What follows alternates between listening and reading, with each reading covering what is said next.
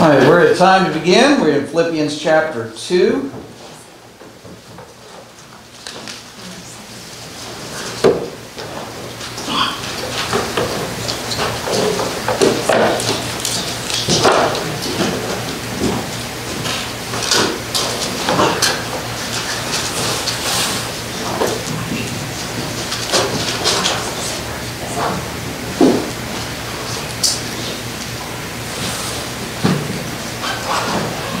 Philippians chapter 2. And Chris, would you lead us in prayer, please? Yes. Please bow with me. Our great mighty Father in heaven, hallowed be thy name. Father, we give thanks to you for this beautiful day that you created. We thank you for the chance to be here, Father, to worship and study your mighty and holy word. We pray that as we go through this lesson, that you will be with Brother Steven, let him deliver your word to us, Father, in a manner which we may understand, in a manner which pleases you. Open our minds so that we may receive it, Father. Father, we pray that you will be with those who cannot be here today because of sickness. We pray that you will continue to please touch and heal them so that they may rejoin us soon, Lord, oh Father. Father, we thank you for all that you do for us, and we thank you for your Son, Jesus Christ who gave his life upon the cross so that we may one day have eternity in heaven. We pray for your forgiveness for all the sins that we've committed. In Jesus' name we pray. Amen. Amen. All right, Philippians chapter 2. Um, the end of chapter 1, Paul 27 28 had urged them to be of the same mind, to stand fast with one spirit, striving together in the gospel. And he touches on that continuing down into chapter 2. Evidently, there were some tensions, some difficulties among the saints at Philippi, and he's urging them to be sure that they are united together in Christ. And he makes an argument down through chapter 2 about having blessings in Christ, and then Christ being our example, and then urging us to have that same type of mind. And at the end of the chapter, he gives a couple of examples of people who exemplify that type of attitude, who have walked in the way of Christ, if you will. So, Philippians chapter 2, let's read verses 1 through 4 to begin with. 1 through 4. Who will grab that, Ron? Therefore, if there is any consolation in Christ, if any comfort of love, if any fellowship of the Spirit, if any affection and mercy, fulfill my joy by being like-minded, having the same love, and being of one accord, of one mind. Let nothing be done through selfish ambitions or conceit, but in lowliness of mind let each esteem others better than himself.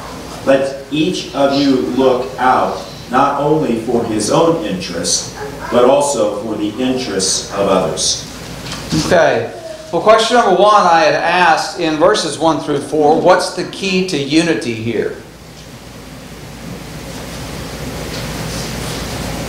What's he talking about in these verses, Ron and Nancy? He's saying here that we are to have the same love, and mm-hmm. we have a standard that we are to conform to, and if we all conform to the same standard, then we have unity because we have the love that has been manifested to us that we didn't know prior to Christ.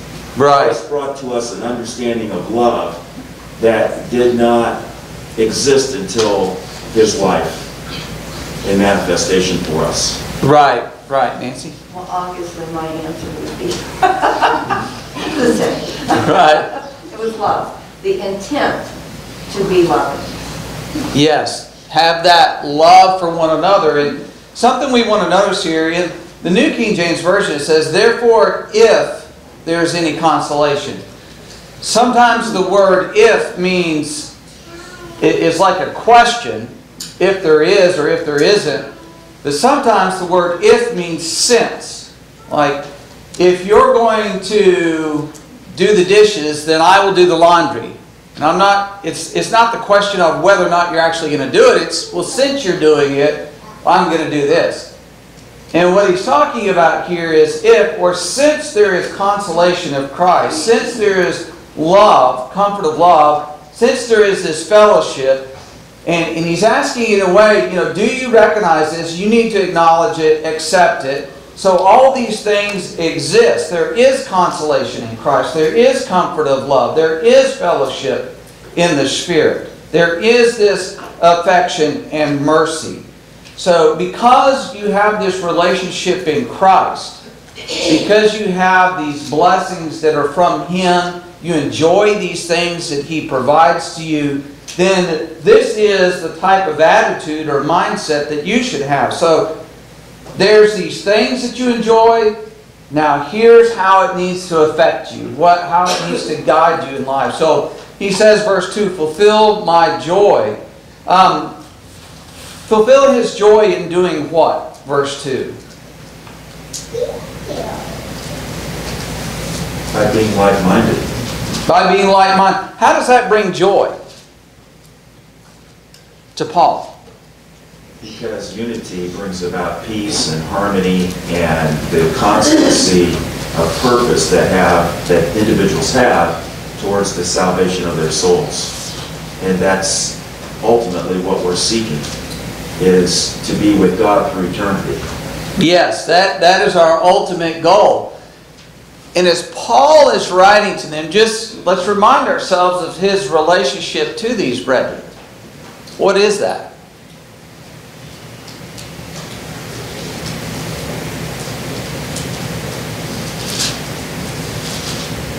Is he just some random stranger that, oh, I heard about these people over in Philippi, I'm going to write them a letter?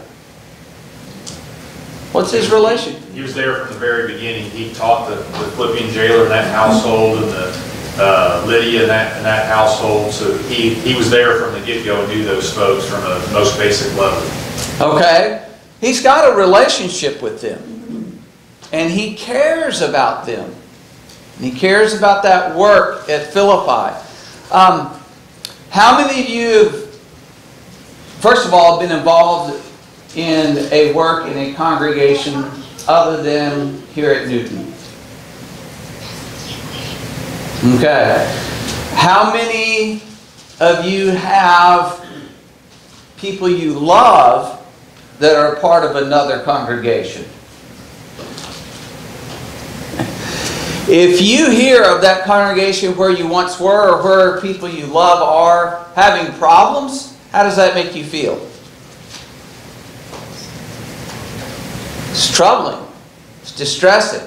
If you hear that things are going well, that they're united, they're standing together, the people, especially the, the ones maybe that you're closest to, they're being blessed, they're growing, how does that make you feel?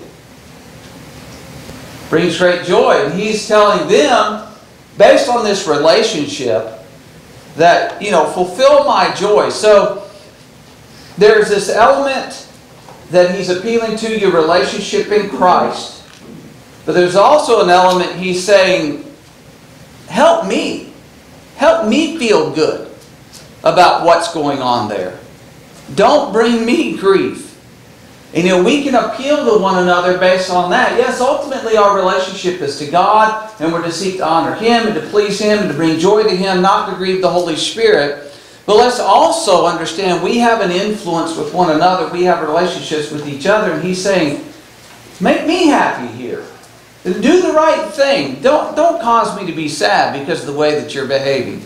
Sort of like how parents appeal to their children sometimes. You know, do, do the right thing. It, in, it'll make me feel so much better. Don't do the wrong thing because I'm going to be grieved. But be that as it may, when we're unified as a congregation, we can bring joy to others. We can bring a blessing into the life of others who know about us that may have some relationship to us in one way or another. Any other thoughts there? All right. So they're to be united in mind and united in heart, being of the same mind or uh, one accord of the same love with one another. Um, how are they to view each other? Verse 3.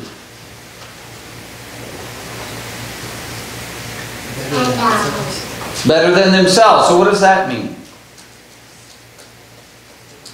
that we need to care more that they're doing, going the right way to get to heaven.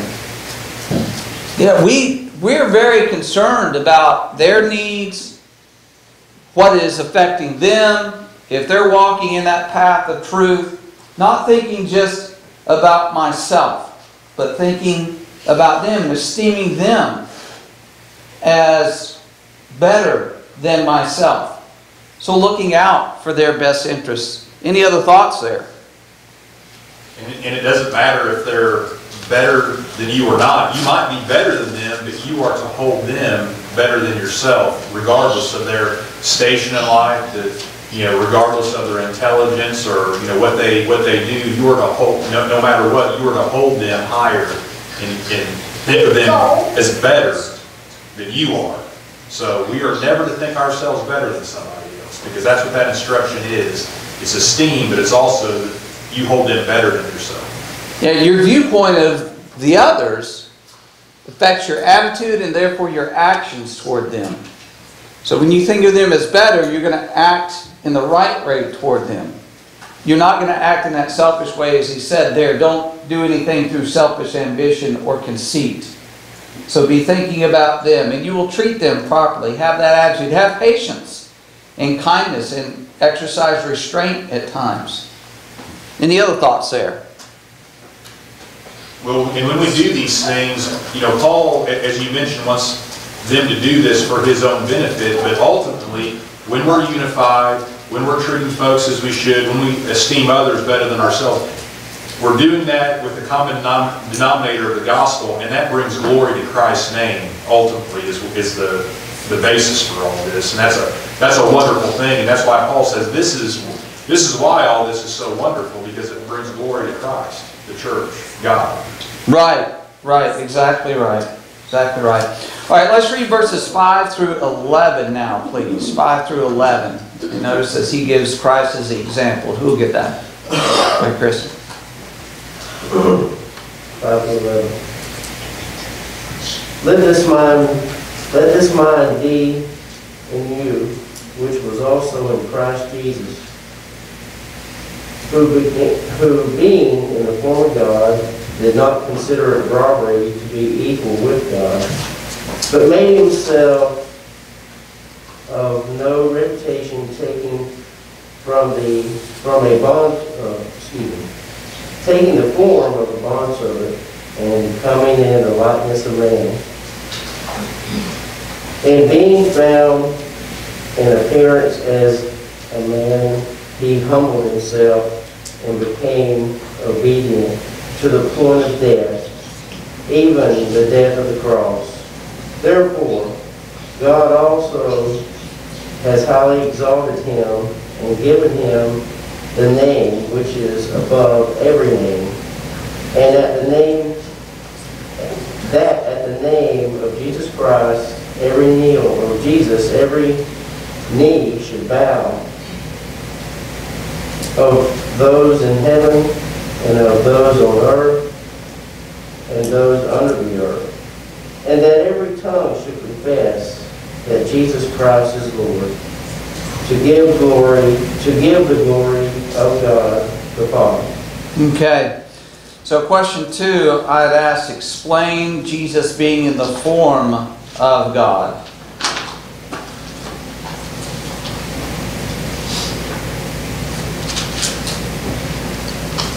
What does it mean he was in the form of God?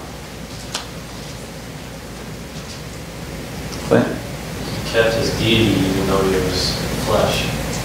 So he was both God and man in duality while he spent time here on this earth. What, what does John 1 1 say? In the beginning was the Word, the Word was with God, the Word was God. And then verse 14, John 1, the Word became flesh. So, being in deity, that's his state of existence, is really what he's looking at here before he came to earth. It says, being in the form of God, do not consider it robbery to be equal with God, or as some translations have, a thing to be grasped. So what's it talking about? He didn't consider this robbery or a thing to be grasped. He already had it. He didn't seize it, didn't take it by force, and his state of existence in heaven was not something he held on to. Ron, you have some? I was just gonna, go ahead and finish your thought, but I was just gonna comment on John 17 and verse 5. Okay. And now, O Father, glorify me together with you with the glory which I had with you before the world was, which is what you were stating there. Okay, so tying a couple of things together, what he said, it, it, as the Lord is about to go to the cross, and he's looking forward to not only his resurrection, but his ascension back into heaven, you know, glorify me with the glory I had with you before he came into this world. And remember in Matthew 17 and other accounts where he went up on the mountain and he was transfigured and his glory shone forth. While he was here on earth in the form of a bondservant, that glory was masked. And men didn't see that glory.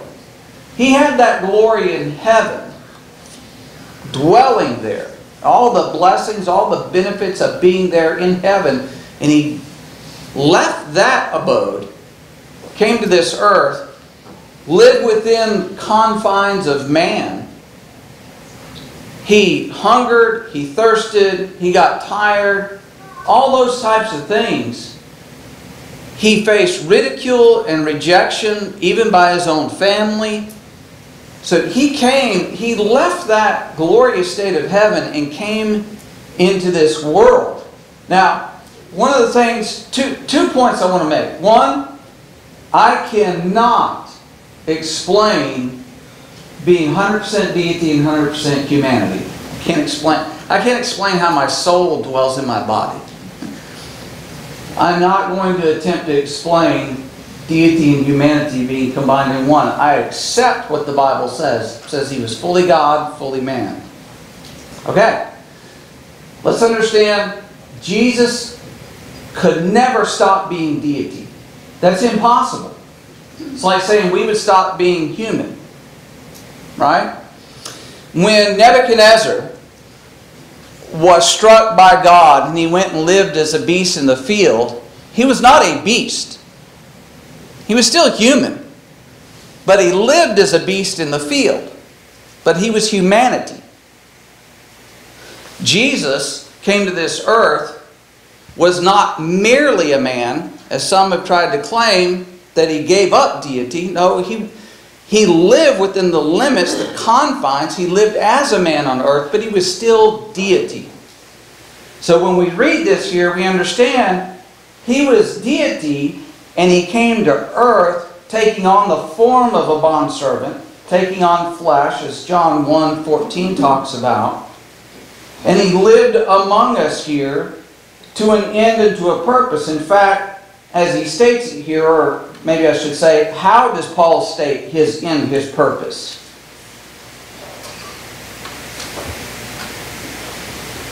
Why did he come?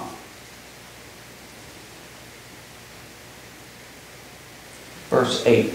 To the death, to, to die on the cross, to be the sacrifice. Right. He humbled himself so much that he went all the way to death, even the death of the cross, which is pointing out how horrific that type of death was, a result of torture. And so he went to that extent. So what's Paul, just sort of wrap up that first part there, verse 5, what's he telling us? What's he showing us here? He's saying that Christ did these things to show you, to show us how to do what Paul just told them in the previous verses. He's telling us to be humble, he's telling to put others first, and then he explains how Christ did that. And, he, and yes, you know, Christ died on the cross for our sins, and he was God, and he gave up all his rights and didn't exercise his rights as, a, as, as God. But Christ showed us how to do exactly what Paul just told those Christians that they need to be doing. Here's your ultimate example in the Son of God. If He can do that, then there are sacrifices you can make. There are changes you can make in your life in order to benefit and to bless your brethren and have that same mind, have that love that is necessary for the people of God. Any other thoughts there? All right, so verses 9 through 11, then what does he tell us? What's the name that is above every name? Sometimes I think we look at this and we, when, when we think of name, we think of Jesus. And in a sense, that's, that's here, but what, what does the name Jesus mean, by the way? What's the Old Testament name for Jesus? Joshua. What, is, what does that name mean? Deliverer, is that? There, there's a sense of deliver. There, Jehovah saves. Jehovah saves. So this would be the idea of He's the Savior. But He is Lord. There's a name that is above every name. He is Lord. He is Master. He's our Master. That is the exaltation that He has received. He came to this earth and He lived as a bond servant. He came to serve men, not to be served. So he was the lowest, if you will. But then after he came and he served and he fulfilled his duty, where is he? He's the Christ, the Son of God. He is above all. Right? He has a name that is above every name. He is the one who's ruling and reigning at the right hand of God in heaven. So he went from this earth in the grave to a throne in heaven. So, question number three I asked what's the contrast between verses 8 and 9, becoming obedient to death? What lessons can we learn being exalted in heaven? Any lesson to learn there? Well, Paul's telling these, these Christians, if you take Christ's example and do what Christ did, Christ was humbled himself, and as a result, God exalted Christ. And Paul's saying, so if that happened to Christ, if you do what Christ did in Christ's example, humble yourself and be obedient, well, in the end, you're going to be exalted by God the same way that Christ was in heaven, ultimately. So, you know, put, put yourself to the side, put others first, put Christ first, put put God first, and God will exalt you just like Christ was exalted. Humiliation before exaltation. There's pain before there's pleasure. There's the cross before the crown. Clint. This is a pattern of teaching that we see in the New Testament often. Those who are going to put themselves last will then be first. Um, You go to Hebrews chapter 2, verses 6 through 8. It has been testified somewhere, what is man that you are mindful of him, or the son of man that you care for him?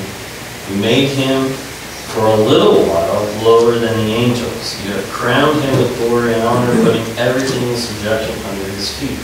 So there's that, that key period, there's a temporary time of subjection. There's a temporary time of you putting your cross on. There's a temporary time that you will put others before yourself, and then you will be exalted, you will be glorified, and you will be given a gift of salvation if you're conditionally correct with God. Uh, To me, in these verses, the lesson is obedience. The result is humility and exaltation. That's, those are the, the two uh, byproducts. But obedience is the lesson to me in that verse. Verse 8 became obedient to the point of death.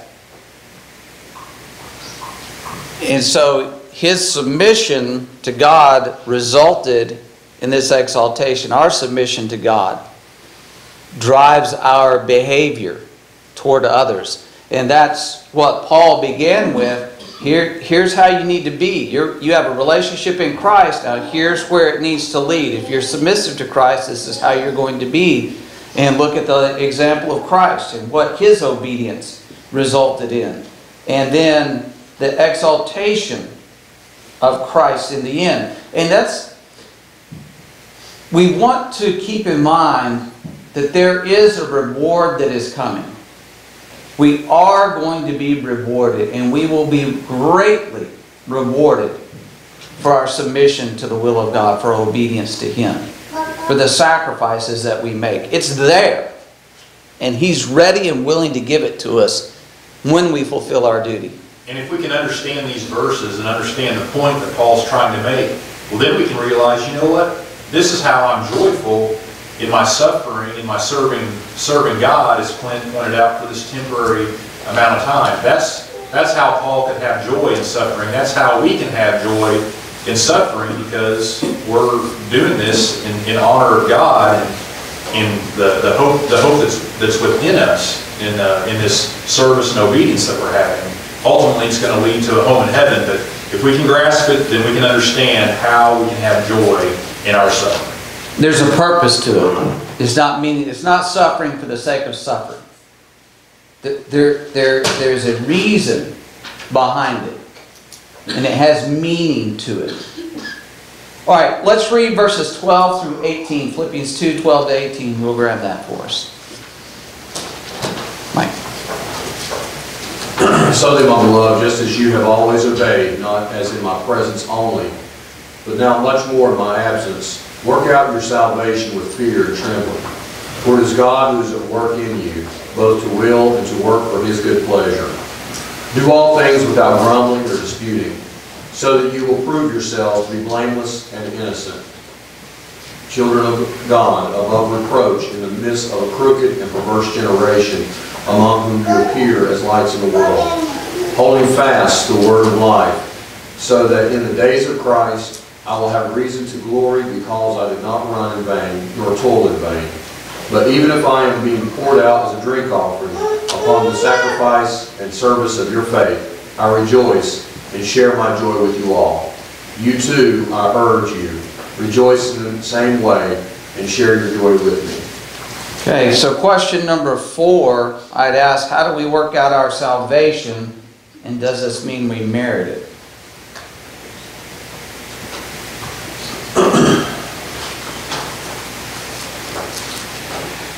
In 2 Peter chapter 1, you know, he talks about the divine nature, and he says, If these things be in you and abound, ye shall neither be barren nor unfruitful. So it is taking on, of course, the divine nature. And we understand that we are to serve God not as men pleasers with eye service, but with all sincerity. And so as we look at this, you know, it is not through meritorious works that we're saved, but the just shall be saved by faith. But faith requires an act of obedience, as you were just describing with the nature of Christ. So in these things, by practicing these things and perfecting ourselves, we're working out our salvation because of bringing out this divine nature that he's talked about, and that we are God's creation unto good works. And so we have to work the, the faith that he has given to us. Yes, Chris. On that same note, each one of us have stumbling blocks in our lives, from young to old, throughout our lifetime. And as we work out these stumbling blocks, which cause sin, and we walk away from those issues, we are working out our salvation at the same time. Okay, there, there are things that we have to get rid of out of our life. There are sins. There are things that we struggle with. We have to get those out of our life. There's also growth. There's also maturity that we have to work on it as we go along. Um, Nancy. Well, in Luke 17, 10, Jesus said, When you've done all that you've been commanded to do, say, I am an unworthy servant, for what have you done that was not your duty to do? Right. That pretty, that, talk about humility. Exactly.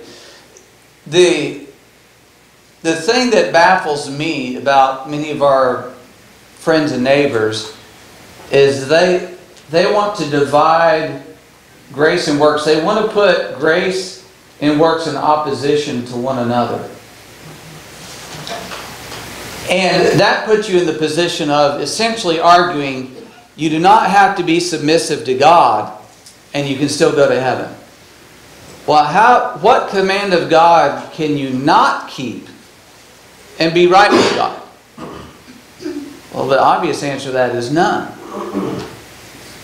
And as we've been talking about here, this idea of being obedient, working out your own salvation, is simply the idea of submitting to the will of God. That you are allowing Him to direct your life instead of you directing your life. You're allowing His will to be the primary focus in life instead of your own will. And you let Him guide you, and so you submit to Him in all things. Um, Paul says here that he's essentially pleased with their obedience when he was with them and when he's been away from them. So he's giving them a compliment. You, you've been obedient. And essentially he's saying, continue. Continue to do this. Continue to work out your own salvation. You've been working it out. And whatever difficulties, whatever stresses they're facing right now, he's basically telling them, don't let that get in the way. You be obedient now. And with the things that I'm telling you, having the same mind, having the same love, having that, that fellowship with one another in the Spirit, keep working on that and don't allow that to be disrupted or to be destroyed. So we understand as he's telling them about their salvation working out that it's not an automatic thing, but it's something to which they must apply themselves. Now, of course, obedience implies there's something or someone to obey. And it implies there is a standard. Mike. Well, in verse 13, it says, For it is God who is at work in you, both to will and to work in his good pleasure. And that word for means because of what I just said. And that is, in our obedience is where God does his work. When we are disobedient, God doesn't work inside of that. And there's a big misunderstanding in the religious world about our work, and that is that it's work of ourselves. No, it's the work of God. God's told us what we ought to do. His obedience to Him is where God does His work. When we're disobedient, God's not with us. He's not working inside of that. He's not going to make it out to where everything is okay for us whenever we're disobedient. Right. We're stubborn, we're resistant to God. That's not doing what he's talking about here. When we are submissive, we, he is working in us to accomplish his will in this world. Now, um, any thoughts down through 13 there? So 14 to 16, he's essentially saying that as we serve God, we are an influence for good in this world. Now, he says, do all things without complaining and disputing. The idea of the complaining there is the grumbling or dissatisfaction. And if you look this up, the original word has an emphasis on the internal. This word is very often translated as thoughts. And then, without disputing, has a primary meaning of deliberating with yourself. So, when you think about that, what any lessons to draw out of that? As a man thinketh in his heart, so that whatever is in there is going to show externally. Okay, those things will come out, right? Anything else? Where's the battle? The battle's right here, right? Because sometimes we will excuse ourselves because we don't express something. And he's saying, look, your, the root of your problem is going on in your head. And you're having these grumblings, this complaining, this disputing. Internally, you're having this debate and you're unhappy. Now, that's going to come out, that's going to affect your relationship with your brethren. But you need to get rid of that in here. Clint? I'm just going to go back to verse 30. It says, Do nothing from rivalry or conceit. If you don't do what 14 says, then you're going to be in rivalry. You're going to be, now that's the direct outcome of not putting yourself in check.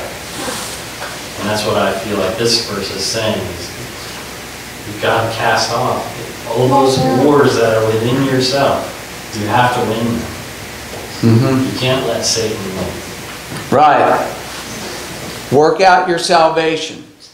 This is not uh, something that's simple. It's, it's simple in one sense, but it's a challenge in another to bring those things in subjection, to, to restrain that mind, to discipline and train that mind, to get rid of that complaining, that grumbling, that disputing, those internal debates and thoughts that, that lead to those broken relationships and those difficulties. So get that in check. Now, self reflection is good.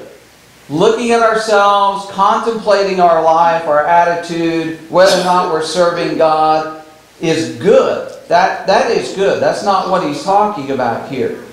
But get rid of that doubting, disputing, understanding God's way is the right way. You know, sometimes we chafe against that. But God's way is the right way. And it may be difficult, it requires sacrifice. As he's already pointed out, look at Christ and the sacrifice that he made. It requires sacrifice, requires obedience to the extreme. He became obedient to the point of death, even the death of the cross. And so it requires extreme obedience to the Lord. That we may do what, verse 15?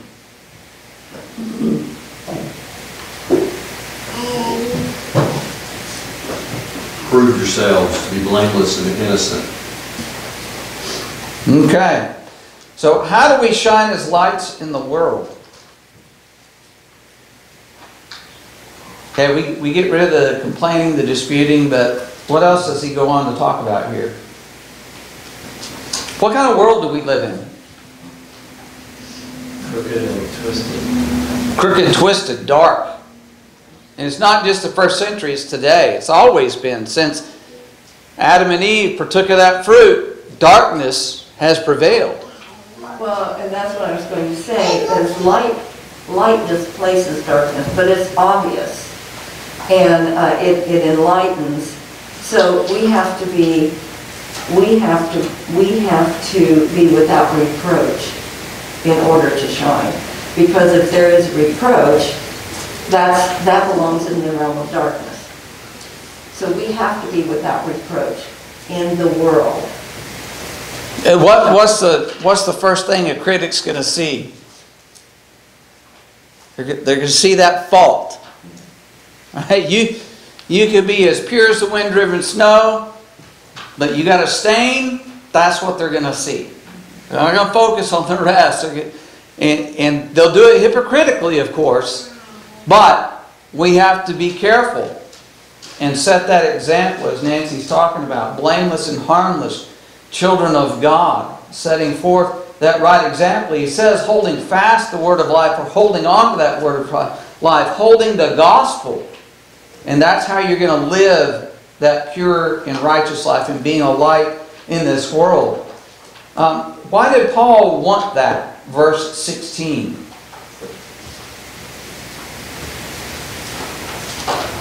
What's his appeal there? Mike?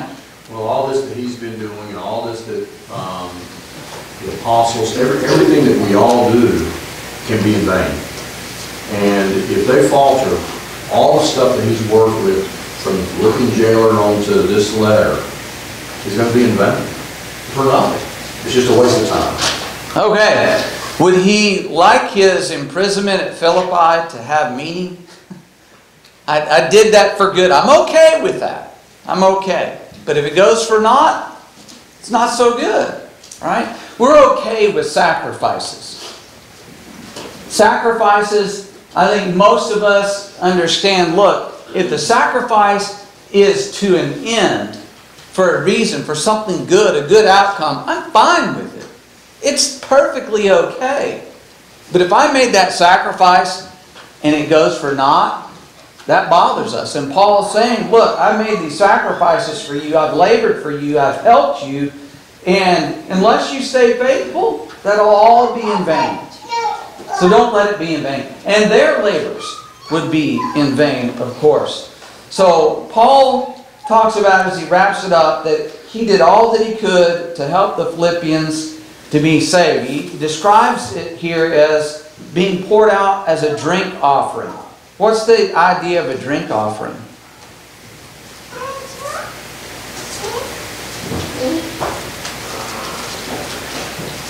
A drink offering would be offered with another sacrifice.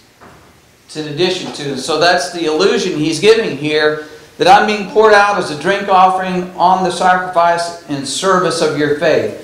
So you're making a sacrifice, and I am like an additional sacrifice, a drink offering, which, by the way, a drink offering was wholly poured out. And this has some allusion to the idea that he's willing to shed his blood as a drink offering, as an offering for the Philippians. If, if that's required in the cause of Christ, not only for them, but for others that Paul had worked with, but he's willing to do that. And he says, I'm glad and rejoice with you all. Don't be upset about what's happening to me. Rejoice. I, I willingly make this sacrifice. Any other thoughts there? I was going to say that in um, verse 15, it says, "So that you will prove yourselves." That word "prove" means to become. So don't do things with, um, with grumbling and disputing, so that you can become blameless. In other words, it's a process that you go through, and it's a never-ending process as well. You are always proving, always forming, shaping your life, conforming to what God wants, so that you can become innocent and blameless. Right. It's that process, continual growth and maturity in the Lord. All right, let's read verses 19 through 24, please. Who will grab that for us? Clint. I hope in the Lord Jesus to send Timothy to you soon, so that I too may be cheered by news of you. For I have no one like him who will be genuinely concerned for your welfare. For they all seek their own interests, not those of Jesus Christ. But you know Timothy's proven work, how as a son with a father he has served with me in the gospel. I hope therefore to send him just as soon as I see how it will go with me. And I trust in the Lord that shortly I myself will come also. Okay. Question number six. What does Paul commend Timothy, or commend about Timothy, and what practical application can we make? Let's give an example. Here's somebody who has done it. So what does he commend?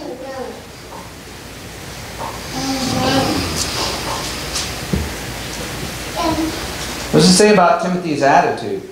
There in verse 20, it seems like he's describing what he already talked about in the beginning of the chapter. Mm-hmm. I have no one else who's going to care for you like he does now, to send to you. He's going to, you know, he's going to put you first. He's going to serve as a sacrifice for you so that you can be, you know, with God. He was genuinely interested in the salvation of their souls, unlike any other person would be. Timothy, if you recall, was with him and working with him at Philippi. He's not prominent in Acts 16 there, but he's there. And so he has a relationship with them. He cares about them. And Paul's saying, look, he, he has the exact same attitude I do toward you. And so receive him. He's going to help you. He's going to be a blessing to you. Ron? Yes, over in 1 Corinthians 4 and 17, we see again that nature that Timothy had. He says, For this reason I have sent Timothy to you, who is my beloved and faithful son in the Lord, who, excuse me, who will remind you of my ways in Christ as I teach everywhere in every church. And so, as you mentioned, he was with Paul when he went to Philippi. He has demonstrated this characteristic previously. So Paul has this confidence knowing, as he was describing here in this second chapter, those characteristics that Timothy possessed. Yes. And here's a beautiful picture of where you have one man who is prominent in the gospel and the cause of the gospel and helping to establish that church at Philippi, and another man who can come along and be a blessing, a help, and encouragement. In other words, it didn't solely and wholly depend on Paul. That the gospel could go forward and the work could be done and souls could be saved even in the absence of Paul, even though he's restrained. It can be done in that way and through Timothy because he has this great characteristic of love and devotion to the brethren to be ready and willing to serve them. And I find it interesting that Paul, in verse 19, I trust in the Lord Jesus to send Timothy to you shortly. He didn't know for certain. They say, I'm trusting in the Lord to send him to you. You know, sometimes I think we get the idea that the apostles had everything revealed to them, like every action of every day, everything that was going to unfold in the future, and they didn't. They didn't know what the future held. God revealed the gospel to them, God revealed the truth, and God revealed some things in the future to them, but some things He did not reveal. In fact, the revelation, the uh, prophecy of future events was very, very rare. And so he's saying, I trust in the Lord. And then in verse 24, I trust in the Lord that I myself shall also come shortly. We've already discussed in chapter 1, he says, Well, I don't know about living or dying. I think I'm going to live, but I really ultimately don't know. So he ultimately doesn't know this. He had this great faith. And imagine him who had received so many revelations, not having that knowledge or information. Sometimes, I, I don't know, maybe it was frustrating to him. Well, why didn't he just reveal this also to me? But he had to learn trust in these situations, just like we need to learn trust in these situations. So let's read verses 25 to 30 and close this out. Who will read that for us? 25 to 30. About Epaphroditus. Go ahead. I thought it necessary to send to you Epaphroditus, my brother, fellow worker, and fellow soldier, and your messenger and minister to my need. For he has been longing for you all, and has been distressed because you heard that he was ill. Indeed, he was ill, near death, but God had mercy on him, not only on him, but on me also, lest I should have sorrow upon sorrow. I am more eager to send him, therefore, that you may rejoice at seeing him again, that I may be less anxious. So receive him in the Lord with all joy and honor such men. For he nearly died for the work of Christ, risking his life to complete what was lacking in your service to me. Okay, so who is Epaphroditus? It's obviously somebody they're very familiar with, maybe someone amongst them that is now helping Paul. Yeah, they, it, from what we read here, he had been sent by them to supply what was lacking in their service. And you go, get on into chapter 4, plus combining what it says in chapter 1, they had sent support to Paul. And it was evidently at the hands of Epaphroditus. He was the guy who actually carried it there. And he was with Paul for some time, and now Paul's saying, I'm sending him back. What was the distress that came up that he's talking about here? Well, it says that he was sick, and then later on it says that, um, you know, that he came close to death for the work of Christ, for the work of Christ. So I don't really know how that all worked out, but uh, whatever it was, it was serious enough that they were very concerned about it. Right. And, and when you read down through this, you get the, the, the sense, the understanding, there wasn't a miracle performed on him. He was close to death here. But he survived. But Epaphroditus was worried about them being worried about him. He was concerned how they would be distressed. And so he is being sent back to give them a measure of comfort and to send messages back to the church at Philippi, and no doubt Paul's thanks for the support that they had provided to him. Now, question number seven, I'd ask to list the various descriptions of Epaphroditus and what they mean. So, how is he being described here? Because Paul's setting him forth as an example, specifically naming him.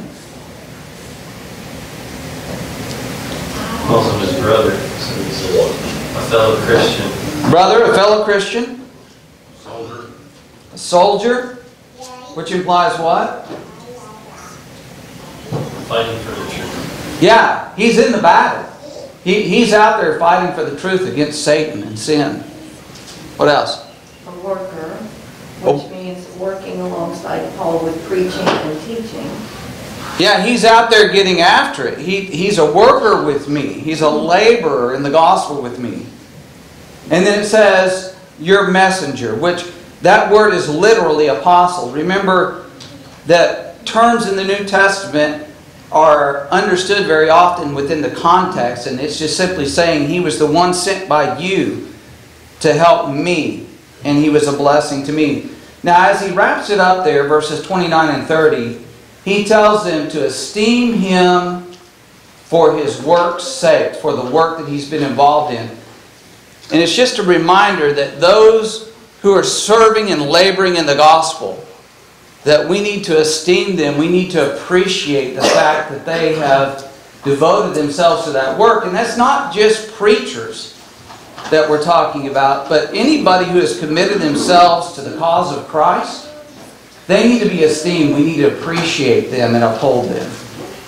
All right, well, we'll close it out there, and uh, Lord willing, Philippians chapter 3 next week.